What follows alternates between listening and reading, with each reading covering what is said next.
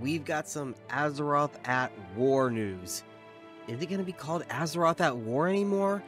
I don't know. It looks like the name of this server is going to be changing. But before we get into that, I'm going to go over some smaller updates and news for the server, and then we'll get into the juicy parts. First things first, over on Reddit, let's switch over there real quick. They've posted um, basically just photographs, screenshots rather, of this server's version of Kezan and Undermine. It's mostly Kezan, but there are some Undermine uh, pictures. Let's zoom in a little bit so you can see. So it's very inspired by um, Booty Bay and Ratchet rather than Cataclysm's like small version of Kezan that we saw. Which I personally did not like the Cataclysm update to the goblins. I just it it was very like I was gonna say the word grimy, but they're kind of grimy to begin with. they're goblins, but you know what I mean. It's it's more of that like not quite steampunk because gnomes are steampunk, but I, I don't know how else to describe it. But it's just that city life kind of thing. It didn't vibe well. This right here looks more like a pirate town, like a smuggler's town, and that's what I think of goblins. I don't think of goblins as like 1930s New York or some shit like that. I think I think of them as like the like the sleazy black market salesman in the like the behind the tavern at a pirate bar. You know what I mean? Like a pirate town. That's what I think of. And Booty Bay captures it pretty good for vanilla. I wish it could be, you know, revisited and re, you know, made bigger like an actual pirate town, but that's just wishful thinking. Here, of course, is a smaller version of a actual like pirate town with definitely some influence from Booty Bay. And there's like like a jungle view of it. You can see the boat in the background. You can also see a little bit of the boat in the corner right there of the uh, right hand corner of the thing. And you also have the uh, cannon watchtower, so just like Booty Bay. Uh, go this way. Looks like it goes into some like old ruins. Like they look like human ruins, so probably a settlement tried building there originally and just never made it. Uh, got some troll ruins, which makes sense. There's a lot of jungle trolls and there are various ruins around um, the South Seas. And right there is a mine or a cave, which leads down into the Undermine. Now, if you're not familiar with the lore, Undermine is actually the deep, dark, like, underground city of the goblins. That is basically their capital city, their racial capital city. We never saw Undermine in-game. We only really saw above it uh, Kezan, basically. And most of it was wiped out by Deathwing and the volcano, but the Undermine remained. We still had never been to the Undermine. This server, I think, is going to be the very first server to ever introduce the Undermine. You know, we've had versions of Kezan, but never the Undermine, so that's going to be really interesting to see. And again, the Undermine not only is it the capital city of the goblins, but there are so many cartels there. Like, goblins have plenty of cartels. Really, only one cartel joins the Horde, and another one is, like, kind of with the Horde, right? Uh, which I think eventually in retail they did officially join the Horde, but many other cartels are either neutral or anti-faction, so we're going to see plenty of goblins here. Now, these are going to be for the starting zone of the goblins for right now. I don't know if we're going to ever be able to actually go to it after the starting zone or if you're not a goblin at all, if you just want to visit it as a zone. I don't know if that's going to be the case. Probably because unlike the broken starting zone where we're not going to be visiting Outland at all, so we're not going to be seeing that, that's going to be the only time we see Outland, uh, this is in Azeroth. So maybe eventually if we move out to the South Seas in an expansion like post-launch or something, we very well could see this area outside of the starting zone again. Anyway, we're going to be moving on to the next thing, which is right over here in Discord. If I scroll up a little bit, we've got Hearthglen re, uh, remade right here. It's uh, mostly the same, but there are some changes. And of course, we have the um, the keep above it, which I don't believe was in the original Hearthglen, but it has been added as it is there in Warcraft 3.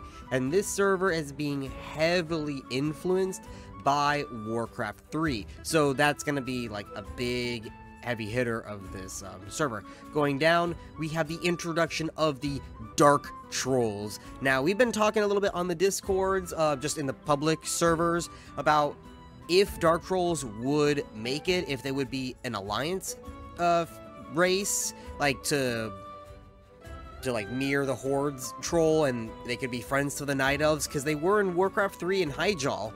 They, there's a small faction of Dark Trolls in Hyjal, so that's probably where these guys are to come in, but we don't know for sure, or if they're to be, you know, off the bat there.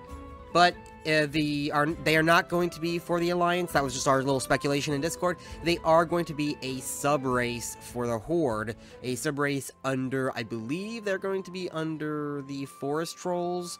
But either way, that's them right there, the Dark Troll. Oh, and Ice Trolls have also been delegated to a sub-race, so Ice Trolls are no longer going to be a Horde, you know, main race. They're going to be a sub-race of the Forest Troll. Now, with this server, if for the betas, I believe they'll be there off the bat so you could, you know, play around with them. But for live, very few sub-races will be available off the bat. You will have to unlock the sub races through questing either in the early game, mid game, or mostly the end game. The majority of them are going to be available at the end game, but they did say some of them might be available mid game or early game.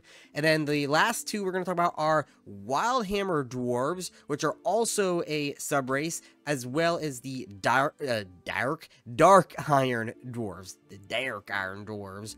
Oh, and uh, by the way, the Draenei are no longer going to be a playable race. Instead, the um, Broken are just going to be called Draenei because that's originally what they were, as the Draenei, as we know it from TBC, were just called Eredar, you know? Or they were just like, they were just demons, as, you know, Kil'jaeden and, and Archimonde was. So that aspect of it being a its own like race part of Kil'jaeden's race and everything. That was TBC lore, and this server does not want to go down the TBC lore route. They are going to be following the same lore as Warcraft 3, which I mentioned earlier. So that's the reason for that, and that's also the reason why Ice Troll has been turned in. Click has been turned into a sub race. That way, um, the Horde loses a race and the Alliance loses the race, so it still stay it still stays um even. And the best part about that is now there's a freed up spot for a new Horde and a new Alliance race to join later on. It's not going to be anytime soon, probably after launch. Maybe we get into some new areas. We might see some new creatures or just old creatures that have never been a part of the Horde or Alliance before, and they can join. So it leaves more room and for like more creativity instead of just another troll race. You know what I mean? So I'm actually glad that they're a um sub race rather than just a full on new race because then that would have given the horde like four troll races so that would have been a little bit too much but anyway uh, let's move to the announcements now so the big announcement is that after careful deliberation and studying of metrics, the private server scene and polling we have decided uh, after the polling, we have decided to change Azeroth at War's realm type to roleplay PvE with a renewed focus on role-playing aspect of the game, as well as the PvE aspect. This change has been done to unleash our full potential for the purpose of creating a Vanilla Plus experience extended lore, integrated new races, and our new class, and much more. What about the PvP community? We understand that this might disappoint, uh, this might be a disappointment for you, and also the fact that many of you might leave, but this has been our decision and it is final. However, we do not think we will completely disregard this aspect of the game. At the same time, we do not expect world PvP on this server anymore, with the exception of a few war zones. Regarding the QA team, we expect, okay, blah, blah, blah, yada, yada. Okay, so, uh, that's just for people who want to join the team this right here is what we're going to be focusing on. The TLDR is that they used to be a uh, PvP server after a little bit of testing of the beta, last beta, where they turned the server into a PvE with some zones being PvP, like open PvP, they've decided, and as well as um, looking at other private servers and how they have been. It seems to be the most popular servers, and I can definitely um, attest to this on many other, even just retail servers and classic servers. PvE servers are the most popular when it comes to role-playing servers. 90% of role players don't want to deal with gankers while they're role playing. They just want to relax out in the woods, role play, smoke some pipe weed, and then a fucking ganker comes out of nowhere and harasses them. And it's one thing because, you know, it's lore, it's war, it's yada yada yada. Great point. But the thing is, it leads to harassment and the ganking over and over and over again when people just want to relax and have fun. So I definitely see the metrics there, as well as PvE servers are just more popular than PvP servers. There is definitely a demand for PvP.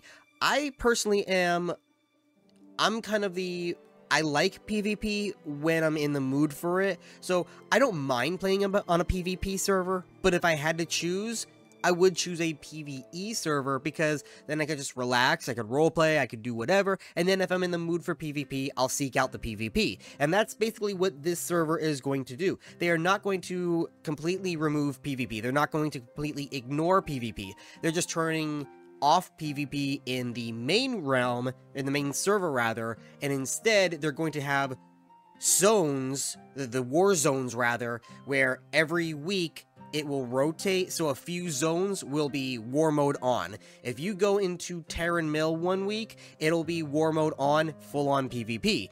But then the next week it turns off and that zone will be safe and instead it'll be wetlands for an example. So then it'll be open PvP in the wetlands. So it, they're going to be cycling zones to have uh, PvP on and others not. So if you are a PvE and don't like PvP at all, you're just going to have to pay attention to that because some will be open PvP.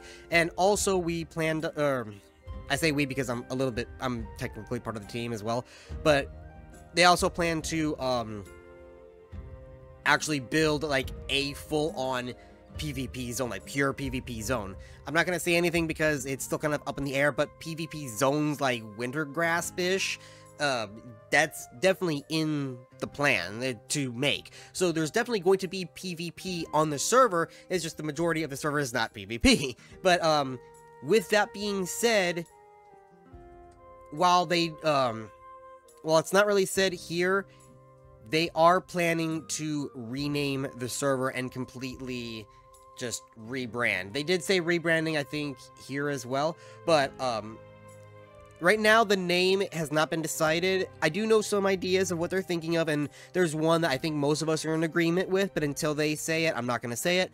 Either way, um, the purpose of renaming the server from Azeroth War to ABC, or whatever, is that Azeroth at War, the name, while it sounds really cool, it's got that connotation of PvP. It sounds PvP, like, oh, at war!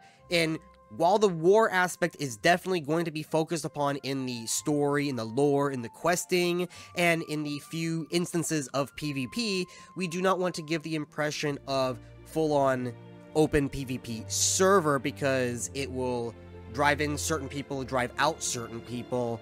So the purpose of that is now we're going to rename it to be something that's still strong.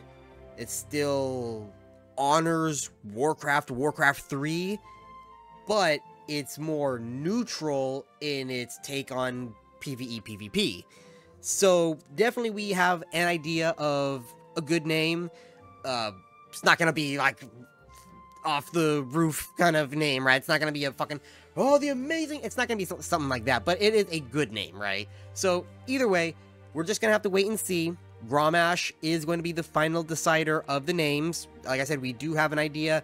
I think he's already made some titles, but it's up to him when he decides that's what he's going to go with.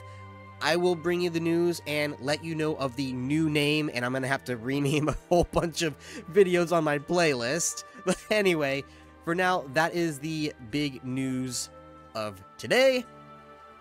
And I will see you guys next time. In the comments down below, what would you like the server to be named? Do you have any ideas? I will actually forward them to Grommash for him to consider uh, renaming the server, whatever your idea is. And if you're trolling, make it a good troll. don't don't don't throw away as or not as rather one, but World of Warcraft, the shit post. Don't do something like that unless it's really good. Come on, guys, be better than that. Anyway, I'll actually see you guys next time. Bye bye.